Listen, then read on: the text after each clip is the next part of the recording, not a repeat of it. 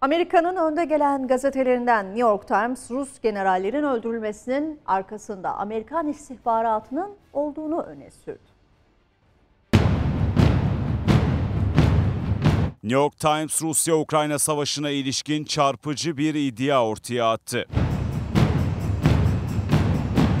New York Times'in ismini açıklamadığı üst düzey ABD yetkililerine dayandırdığı habere göre Amerika Birleşik Devletleri birçok Rus generalin öldürülmesi için gerçek zamanlı kritik istihbarat bilgilerini Ukrayna'ya verdi. Ukraynalı yetkililerin savaşta 12 generali öldürdüklerini söylemeleri askeri analistleri bile hayrete düşürmüştü.